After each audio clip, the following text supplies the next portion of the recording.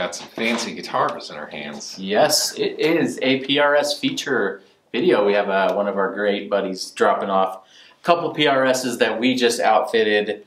This is uh, the Hollow Body SE here. Beautiful guitar. I, I have seen pictures and they always like make the pictures look really good. So it's cool to see one in person. Really great guitar, really lightweight. We dropped in the open top wide ranges in this guitar. And then what do you got? I have a really cool older, I think this is just a custom 24, like uh, why everyone is obsessed about The late 90s 22? or something like that? 24? No, 24, because the bird's at the very end. Oh, yes.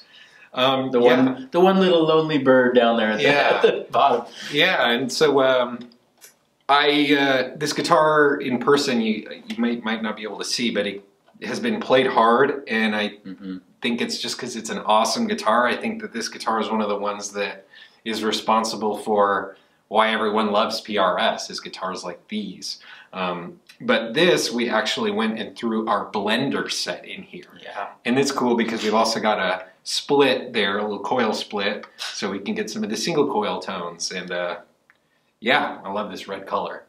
I, I like what you said about that one being a little more broken in because uh, sometimes the PRS stuff comes across so precision because they're so great at making it, then it feels like, oh, it's too nice to play or it's too too put together and this one feels like it's been on the road or it's just been wailed on for a while and, it, and it's like broken in really nicely. I know that sounds like a goofy way to think of it, but it really does feel good. Um, so we're gonna do some flyover tones again of these two sets and we'll tell you where we're at uh, on the pickup positions. We're just each of these us are going to take these guitars, give them a little spin, and go through kind of some tones that you could expect before we have to give them back to the customer. That's always the hardest part.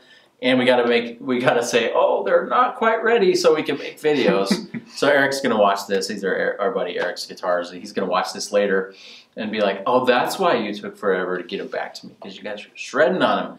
But we are, and we're making a video, and so uh, I know he's cool with that. So we're gonna awesome. we're gonna show you guys how these sound. Um, if you want to hear more of these guitars, we could probably beg and plead Eric to let us. He's a local guy, so we could probably say, "Hey, can we borrow one of those back?" Because um, you know Joe, whatever on YouTube wants us to make another video, so we'll do that. Uh, so hit us up if you want to hear some other things, or I want to hear more overdrive on this, or or whatever. So we're just gonna rip through some different tones on these. Hope you like it. Thanks for watching. Don't forget to subscribe to our channel to uh, find out more about pickups like these in all sorts of guitars. Yeah, or if you just want to keep hanging out with us.